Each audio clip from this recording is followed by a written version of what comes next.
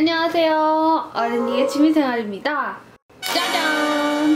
아직은 뭐가 뭔지 잘 모르시겠죠?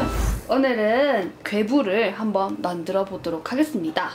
괴물 아니고 괴물입니다. 네이버에서 줌놀자를 검색해주세요. 다양한 취미생활을 화상 플랫폼인 줌을 이용해서 서비스하는 줌놀자 협찬으로 진행되는 방송입니다.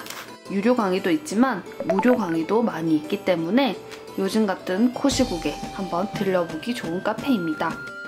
삼각형의 세 꼭지점이 악재를 막아준다고 하여 몸에 지니고 다니던 한국 전통의 장신구라고 합니다.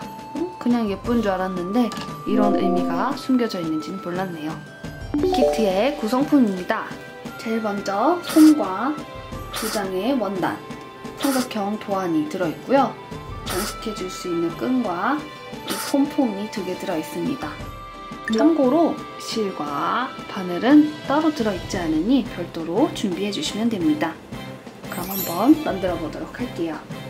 먼저 원단의 뒷면을 이렇게 깔아주시고요. 도안을 따라서 천에 선을 그려주도록 하겠습니다. 삼각형을 그려주셨다면 이쪽으로 나중에 솜을 넣어줄 거예요. 이 부분을 좀 진하게 이렇게 표시를 해줍니다.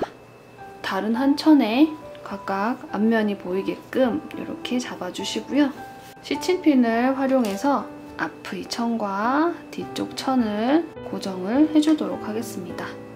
이쪽에 솜을 넣어야 되니까 이 부분을 제외하고 이렇게 박음질을 해주도록 하겠습니다.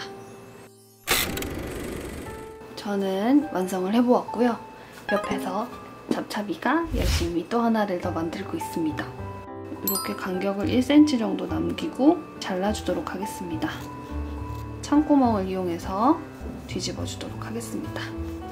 잘 안 나오는 부분들은 바늘을 이용해서 조금씩 꺼내주도록 할게요.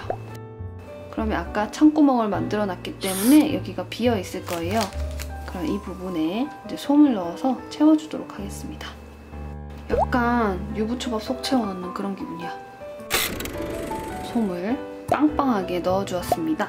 이 창구멍을 막아줄 건데요. 이렇게 잡으신 다음에 바늘을 이용해서 이렇게 막아주도록 하겠습니다. 창을 모두 막아주었습니다. 이제는 이 폼폼이를 단추를 단다는 느낌으로 고정해 주시고요. 반대쪽도 똑같이 작업을 해주세요. 그럼 이제 마지막 단계인데요.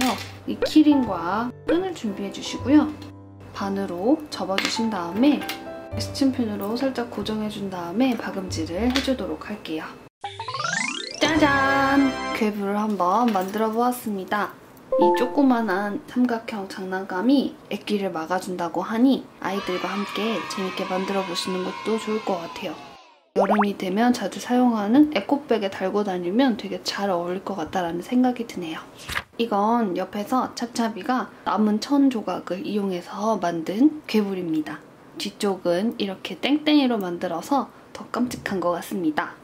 여러분도 줌놀자 카페와 함께 재미있는 취미생활로 더 알찬 고시국을 보내보시기 바랍니다.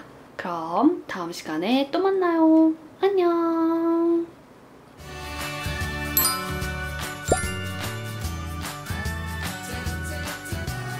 다양한 취미생활이 궁금하다면 구독과 좋아요 눌러주세요. 눌러주세요.